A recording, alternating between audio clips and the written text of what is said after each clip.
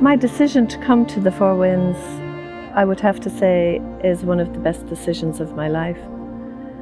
I needed balance in my life, and it brought such amazing balance and such peacefulness and a stillness to my mind that was lacking.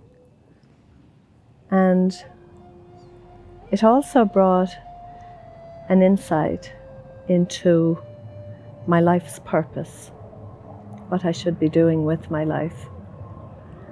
And uh, that just has filled my heart with such joy.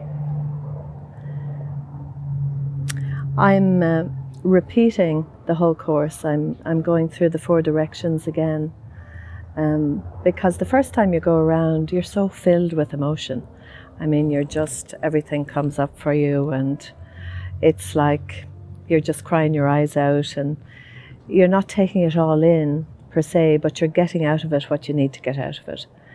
And um, the second time around, you see it with different eyes and you hear it with different ears, you know, and you, you just take it in in a different way so that when you're working with clients, um, you really have eliminated a lot of your own baggage so you can come in clean and work with your clients.